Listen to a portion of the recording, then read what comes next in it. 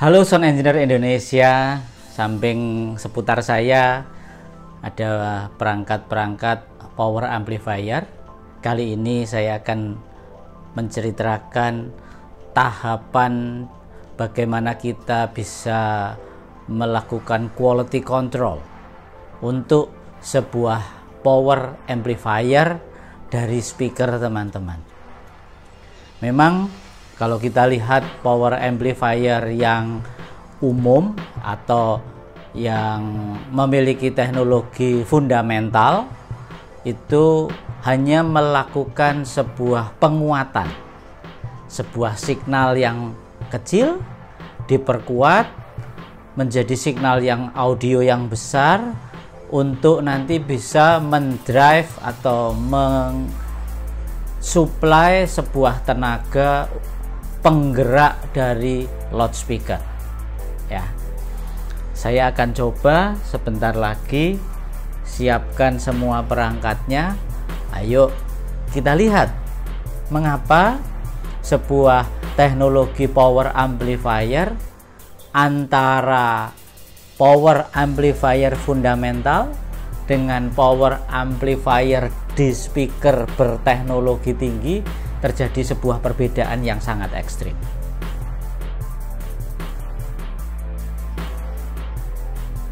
Ini adalah power amplifier dari loudspeaker RCF ya. Oke.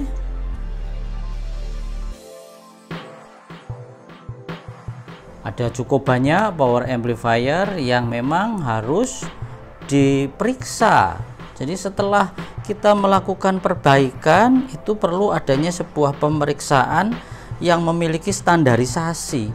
Ya. Jadi eh, kalau hanya sekedar power amplifier yang hanya memperkuat signal begitu saja, mungkin sembarang orang bisa melakukan perbaikan. Saya harus menceritakan kepada teman-teman power yang ada di dalam loudspeaker. Kebiasaan daripada kita semua tentu memilih sebuah opsi yang terbaik di mana uh, speaker bisa dikendalikan atau speaker yang kita miliki dikontrol oleh satu power amplifier tersendiri.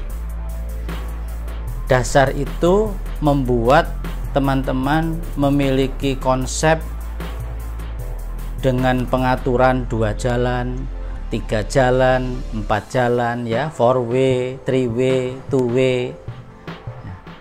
Bukan hanya mengendalikan atau memisahkan power amplifier begitu saja.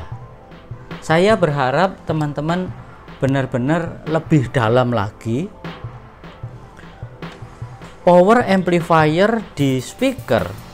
Kebanyakan hanya ya memperkuat saja tetapi tidak ada adjustment tidak ada pengaturan EQ apa pun.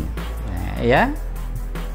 Kenyataan itu eh, sebenarnya saya anggap itu adalah konsep dasar saja maka sekarang saya akan buktikan kepada teman-teman di dalam sebuah modul RCF setiap modul RCF modul power amplifier yang terbagi atas apakah itu two way apakah itu three way maka ada sesuatu yang dilakukan di dalam penelitian pabrik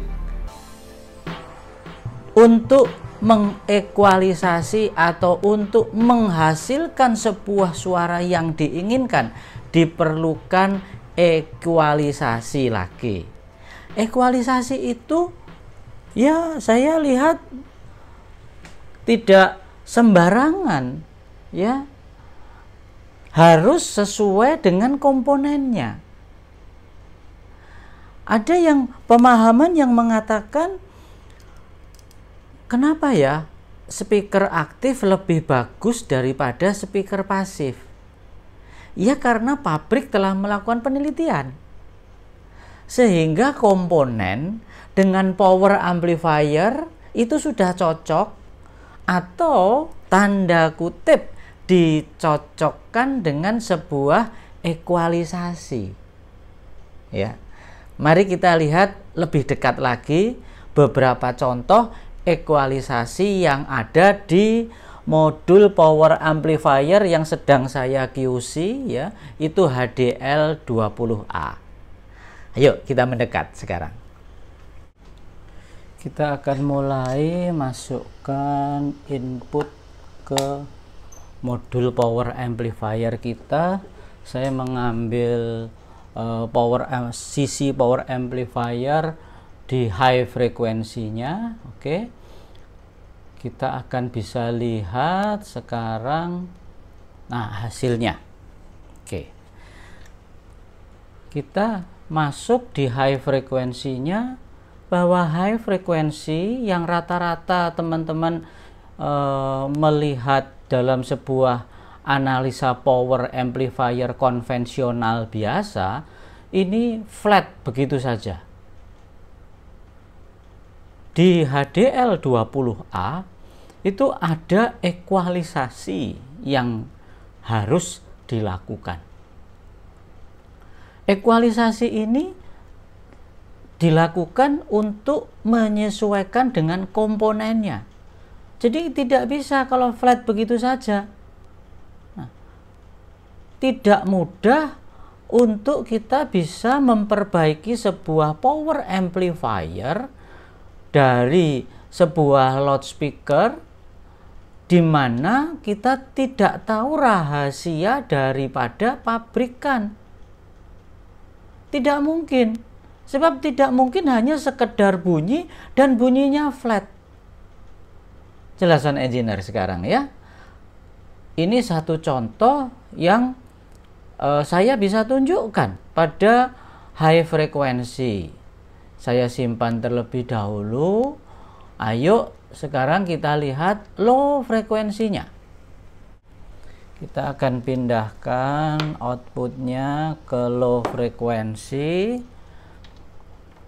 Kita akan aktifkan Oke, ah ternyata low frekuensinya berbeda ini ya. Tidak flat juga. Sebuah pembuktian sekali lagi untuk teman-teman semua. Kenyataannya bukan hanya sekedar power amplifier yang ya di set crossover pointnya flat begitu saja di dalam uh, sebuah active speaker, line array active speaker, ter ternyata ada ekualisasi-ekualisasi. Setiap tombol yang ada di power amplifier itu memiliki fungsi yang tersendiri. Coba kita buktikan ini kita memilih dengan uh, uh, apa namanya cluster atau komposisi speaker yang banyak. Oh, jelas ya sekarang ya teman-teman ya. Line array hanya satu box saja, low-nya di boosting. Ketika box line array itu tambah banyak, di dalam amplifiernya ada penurunan atau pengkompensasi atau menurunkan karakter low-nya sebab low-nya setelah terkopel dari beberapa line array tersebut. Sebuah pembuktian power amplifier untuk loudspeaker bukan hanya memikirkan tentang crossover point. Artinya crossover point ini bukan hanya itu saja Jelas sekarang ya? Berarti ada proses ekualisasi dari tiap bagian high frekuensi, low frekuensi. Ada ekualisasi. Satu box speaker dengan dua box speaker akan berbeda ekualisasinya. Ini buktinya tadi ya. Saya akan tunjukkan nih. Oh, ada perbedaan. Semakin empat berbeda lagi, dua berbeda lagi, sepuluh berbeda lagi. Jelasan engineer Indonesia. Inilah pembuktian sekali lagi saya akan tunjukkan Betul, crossover point akan sangat menentukan, tetapi ekualisasi ternyata dilakukan untuk mencocokkan antara power amplifier dengan loudspeakernya atau transducernya. Sound Engineer Indonesia dari pemaparan saya tadi sebagai konklusi yang harus dipertimbangkan oleh Sound Engineer Indonesia yang pertama, ketika teman-teman melakukan perbaikan, ketika teman-teman melakukan servis, apakah teman-teman sudah memiliki referensi? Sekali lagi, kalau hanya power amplifier fundamental dasar saja, tidak ada masalah karena tinggal inputnya kecil, keluar besar, sudah tidak melakukan apa-apa. Nah, ini saya menghimbau. Tidak semua service center atau lebih tepatnya teman-teman yang bisa menservis itu memiliki sebuah referensi ya.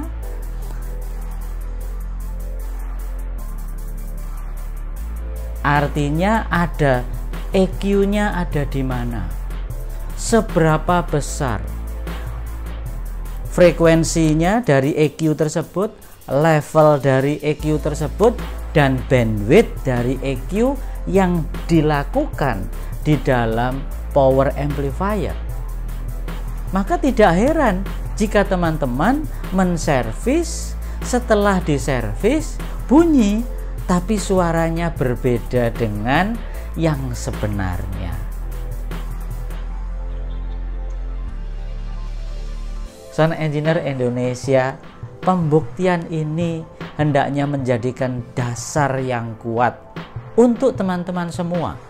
Ada satu langkah lagi yang harus dipelajari oleh teman-teman yang ingin menservis, yaitu apakah ekualisasi yang ada di power amplifier teman-teman, khususnya speaker aktif, telah memiliki standar yang benar. Semoga informasi ini bermanfaat dan memacu teman-teman untuk bisa belajar lebih dalam lagi. Sampai jumpa.